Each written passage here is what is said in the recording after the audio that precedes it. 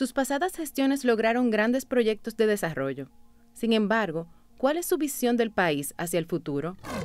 Fuera del gobierno, hemos creado grupos de trabajo para, de alguna forma, estudiar eh, las dificultades que afectan a la República Dominicana, los desafíos y tener una visión de futuro de corto, mediano y largo plazo.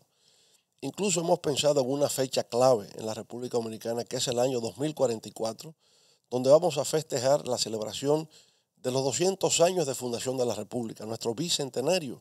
Y por eso hemos creado RD 44. ¿Cómo será la República Dominicana en el año 2044?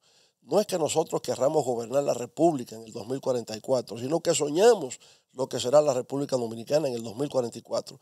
Nosotros queremos gobernar la República Dominicana en el 2024 y tenemos un plan para los próximos cuatro años, 2024-2028, como parte de un plan de más largo plazo que ha de llegar hasta el 2044.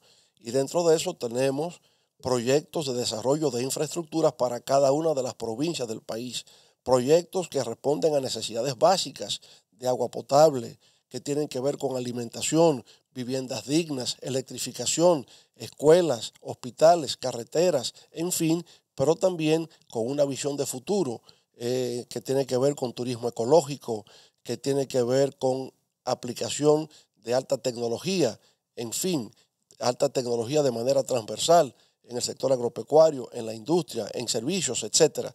Todo orientado hacia la transformación radical de la República Dominicana para mejorar la productividad, que significa mayor generación de riqueza con menos coste y por tanto mayor distribución de esa riqueza para enfrentar la pobreza en la República Dominicana y hacer de nuestro país una nación más próspera, una nación en mayor capacidad de enfrentar los rezagos del pasado. Así que esa es la visión que tenemos de nuestro país, prosperidad, y progreso para un mejor futuro para todos, incluyente para toda la República Dominicana.